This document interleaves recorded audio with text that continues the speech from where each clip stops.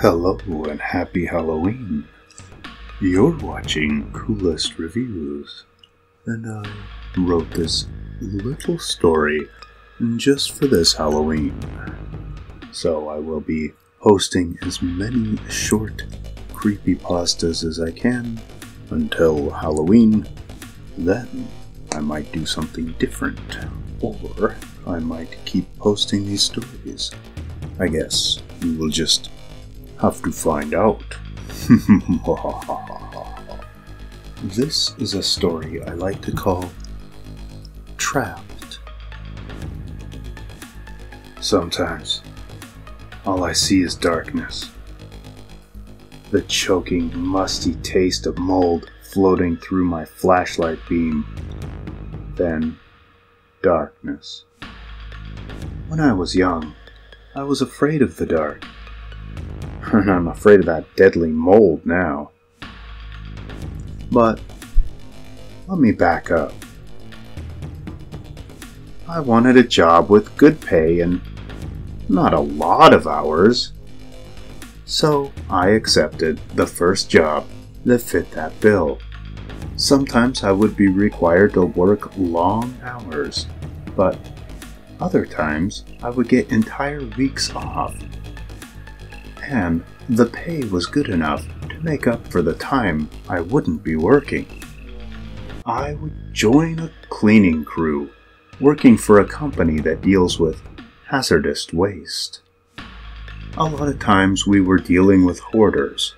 Imagine climbing through a mountain of stuff packed throughout the house just to get to more stuff the owner says you can't throw out. Carving through corridors made by wavering stacks of stuff.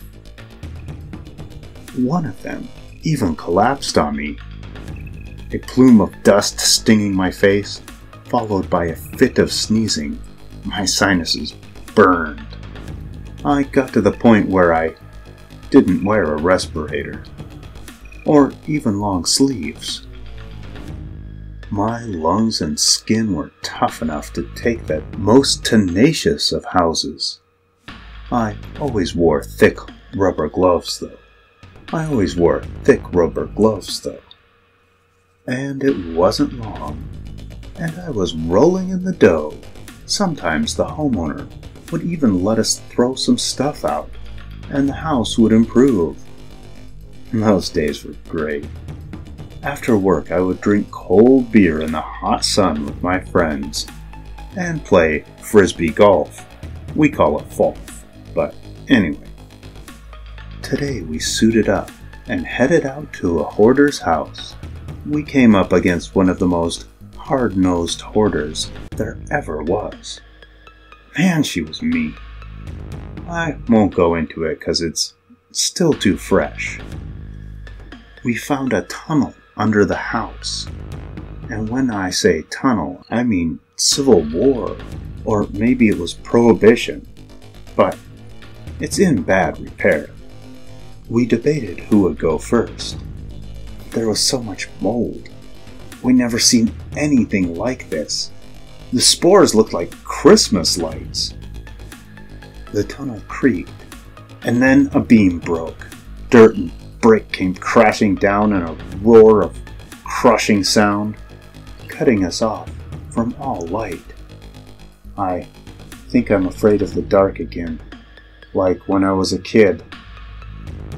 And huh, I better wrap this up. I'm running out of paper, and the batteries on this flashlight won't last forever.